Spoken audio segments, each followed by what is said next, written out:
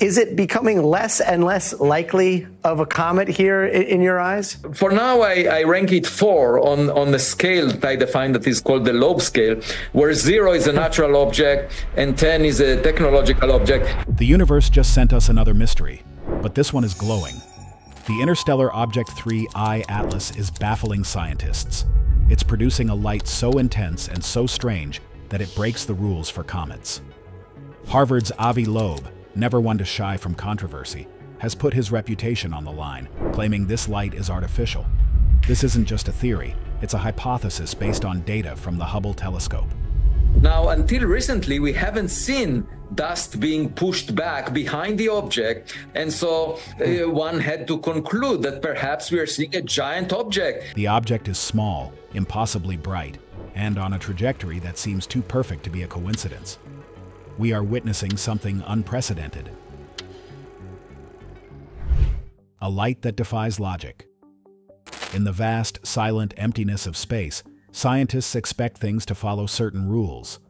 Comets, those icy wanderers, are supposed to act in a predictable way. They fly in, they get warmed by the sun, they sprout a tail of gas and dust, and they reflect a certain amount of light. But not all things are what they seem.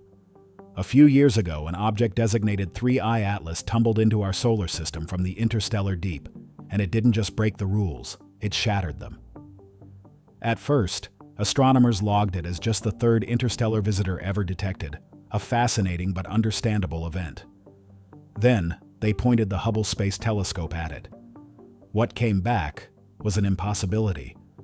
The object was shining nearly 200 times brighter than 2I Borisov, the last interstellar comet we saw, even though it was at a similar distance.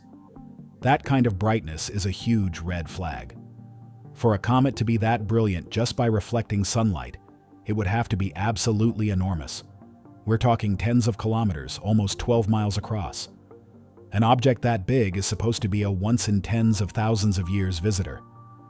The odds of one showing up now were astronomically low, but the size wasn't even the weirdest part. The thing nobody tells you is that the quality of the light was all wrong.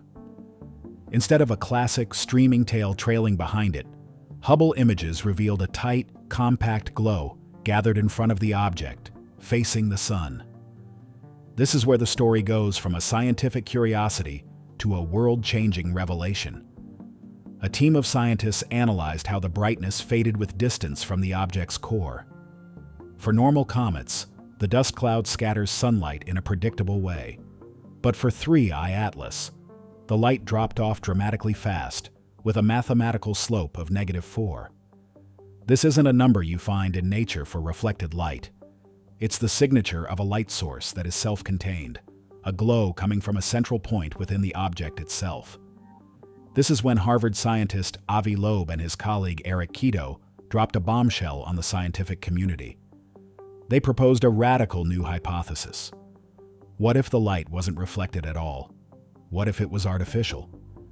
They argued that the steep brightness profile was a perfect fit for a scenario where dust surrounding 3I Atlas was being illuminated from within. If the object was self-lit, it didn't need to be a 12-mile wide monster.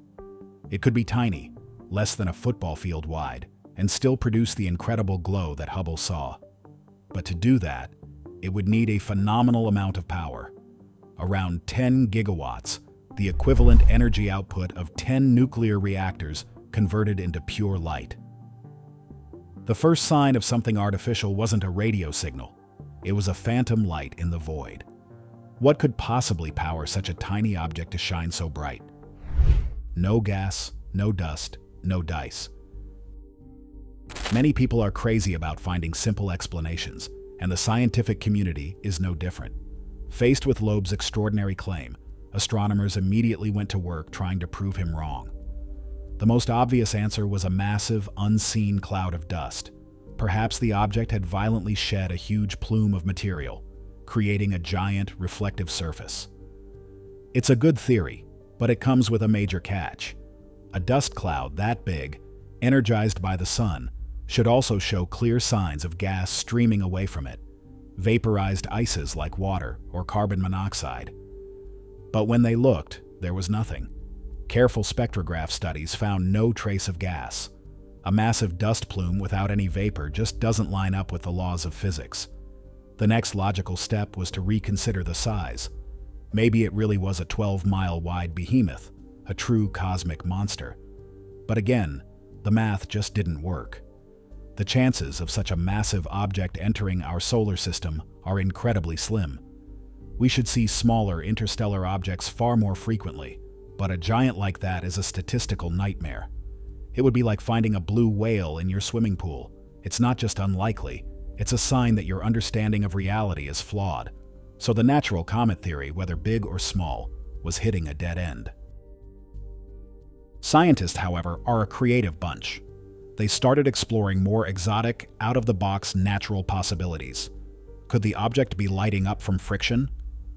Perhaps it was hitting a thick patch of interplanetary dust, creating a fiery glow. This idea was dismissed almost immediately. The space where 3I Atlas is traveling is a near-perfect vacuum, far too thin to cause any significant friction or heating. The next wild idea was a primordial black hole. These are hypothetical, microscopic black holes left over from the Big Bang. If one passed through a dust cloud, it could theoretically generate light.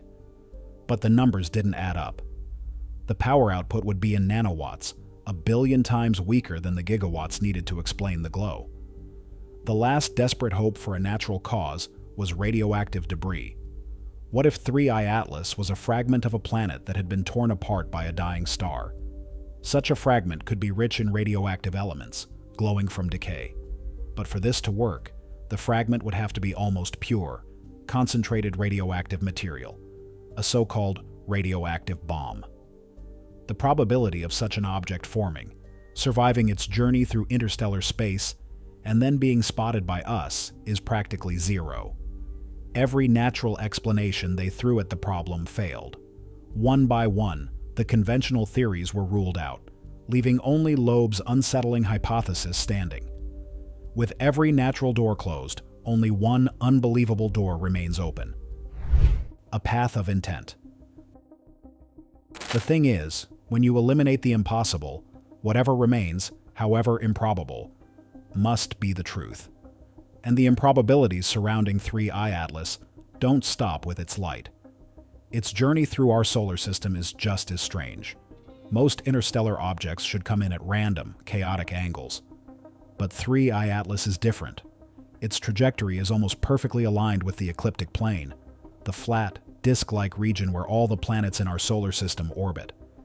It's like a car merging onto a highway and immediately falling into perfect sync with the flow of traffic. It's a 1 in a 100 coincidence that makes you wonder if it's a coincidence at all. But the path gets even stranger. The object's trajectory appears to be fine-tuned for a tour of our solar system, with close passes to Mars and Jupiter. And here is the ultimate twist, the detail that feels like it's straight out of a movie script. When 3I Atlas reaches its closest point to Earth, the point where we could get our best look with our most powerful ground-based telescopes, the sun will be directly in the way. For that crucial window of time, it will be completely blocked from view, hidden by the glare of our own star. Is this just another incredible coincidence, or is it a deliberate cosmic blind spot? For those who lean towards Loeb's theory, this feels like a calculated move, a way to observe without being too closely observed. So what does this all mean for us, the people looking up and wondering what's out there? Are we watching a random piece of space rock perform a one in a billion cosmic circus act? Or are we missing a key detail? The truth is, we are on the verge of finding out. On October 3, 2025, 3I Atlas is scheduled to fly past Mars. Waiting for it is NASA's Mars Reconnaissance Orbiter, armed with the HiRISE camera, one of the most powerful telescopic lenses ever sent to space. It has the ability to take a picture so clear it could potentially see the object's core. We might finally see if there's a nucleus, or just a strange, inexplicable glow. Later, NASA's Juno spacecraft, orbiting Jupiter, might also get a look. This is a moment of truth. We are living in a time where a genuine, scientifically observed mystery from another star system is unfolding right before our eyes. All this isn't happening in some distant galaxy or in the far future. it's happening in our own neighborhood, right now. Whether 3I Atlas is a bizarre natural phenomenon that will rewrite our physics books, or the first confirmed piece of extraterrestrial technology, we are about to get a much closer look. The question is, are we ready for the answer? But the probe theory might be the least wild explanation. A piece of a megastructure. Let's just wonder for a moment. If this thing isn't a comet, and it's not a simple probe, what else could it be? This is where we step beyond established science and into the realm of truly mind-bending speculation. One of the most shocking things to consider is that 3I Atlas may not be a complete object at all. It might be a broken piece of something far, far larger. Advanced civilizations, in theory, could build what are known as Dyson swarms or spheres. These are gigantic megastructures built around a star to capture all of its energy. What if the object we're seeing is just a single damaged solar panel from one of these structures, still glowing with residual power as it tumbles through space? It would be like finding a single glowing brick and having to imagine the entire city it came from. Then there's an even more bizarre idea. What if it's not a piece of technology, but a piece of biology? Some theorists have proposed the idea of interstellar seeders. These would be automated craft designed to spread the building blocks of life throughout the galaxy. The light wouldn't be for propulsion or observation, but part of a terraforming process or a way to protect its precious cargo. It sounds like fiction, but the universe is a very strange place. Another possibility is that we are looking at a cosmic ghost ship. Maybe 3I Atlas is a derelict vessel, the remnant of a ship that suffered a catastrophe millions of years ago, its power core still burning feebly as it drifts through the void. We aren't detecting a message, we're witnessing the final moments of an ancient tragedy. The wild theories don't stop there. What if the object isn't the machine, but the fuel? Imagine a civilization so advanced that they can create and transport contained energy sources, like interstellar batteries. Perhaps what we are seeing is a damaged power plant, leaking pure energy into the void. This would explain the immense power output from such a small object. It's not a ship, it's a cosmic power line that is snapped. Or perhaps it serves as a piece of galactic infrastructure, just as we have buoys marking shipping lanes in our oceans, maybe advanced races have placed similar markers throughout the galaxy to navigate interstellar travel. 3I Atlas could be a glowing cosmic lighthouse, a beacon that was knocked from its post and is now drifting through our system. Each of these theories is a wild leap, but the data is so strange that it forces us to take those leaps. The simple answer is that it's a weird comet. But the more you look at the evidence, the more that simple answer seems like the least likely one of all. These wild ideas have been primed in our minds for decades. What people don't notice is that this whole idea of an artificial light announcing an alien presence has been a part of our culture for decades. Long before Avi Loeb pointed his telescope at a strange glow, Hollywood was using light as the ultimate signal of the otherworldly. For generations, storytellers have understood a fundamental truth. When they arrive, they will arrive with light. Think about one of the most famous first contact movies ever made, Close Encounters of the Third Kind. The entire film is a build-up to a symphony of light and sound. The alien mothership doesn't send a radio message. It communicates with a dazzling, beautiful light show that is both awesome and a little bit frightening. This theme is everywhere. In E.T., the extraterrestrial, the most iconic images are of E.T.'s glowing finger and his glowing heart, a magical light that represents healing and connection. The spaceship that comes to rescue him isn't a silent, dark object. It's a radiant vessel that lights up the entire forest. The light is a symbol of hope and wonder, but light can also be a symbol of immense power and danger. In Independence Day, the arrival of the aliens is marked by city-sized ships that block out the sun casting the world into shadow. The universe is full of secrets. Are we simply seeing a new kind of comet? Or is this the proof we've been waiting for? Let us know your thoughts below. Don't forget to like and subscribe for more cosmic mysteries.